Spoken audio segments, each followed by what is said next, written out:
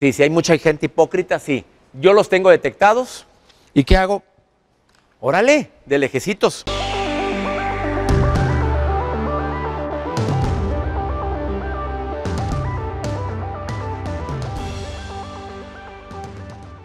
A ver, ¿cómo tratar a los hipócritas friegaqueditos?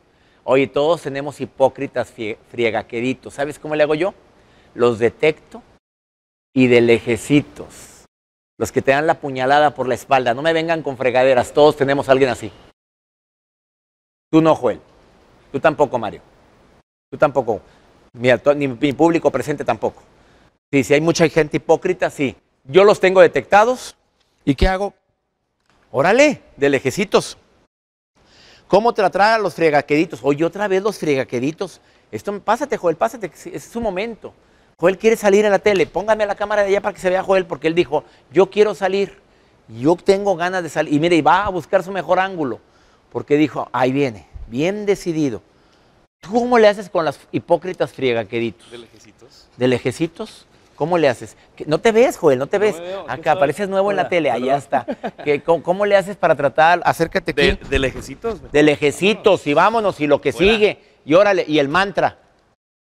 Ya, ese es. Yo no lo puedo decir. Este, ¿qué hacer cuando mi esposo me habla de malas? A ver, seamos sinceros. Mea culpa. De repente yo le hablo de malas a mi esposa y yo le pido perdón, le ofrezco una disculpa.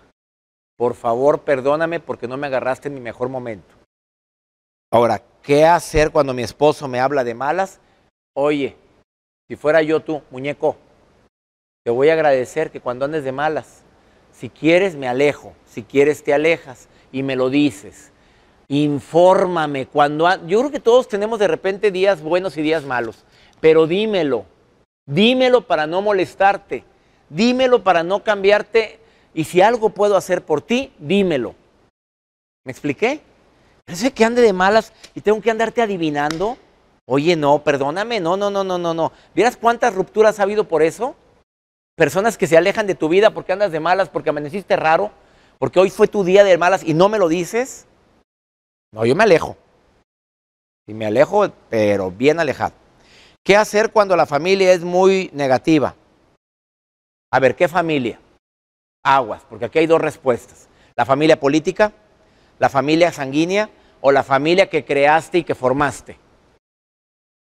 Perdónenme con lo que voy a decir.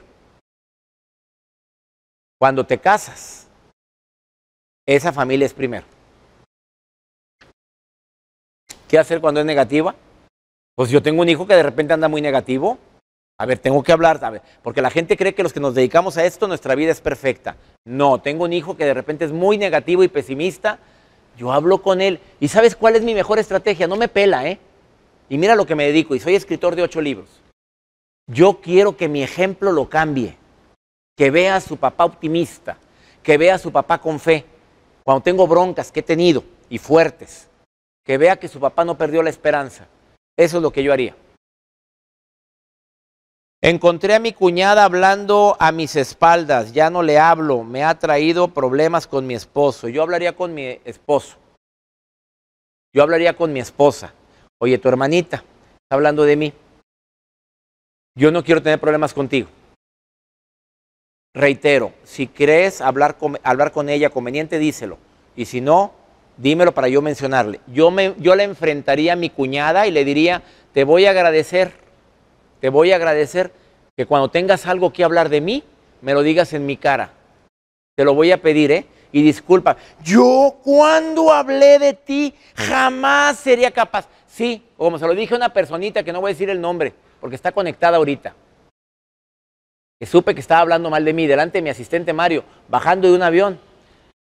Le dije a Mario, ¿sabes que esta mujer que me dice que me ama tanto, que me quiere tanto y que no eres el amor de mi vida y que te adoro, anda hablando mal de mí?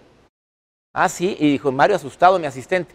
Nos bajamos en México y ahí en el cambio de avión, voy, do- te amo, te adoro. Le dije, oye, me dijeron, por cierto, antes de irme, que tú andabas diciendo esto y esto y esto.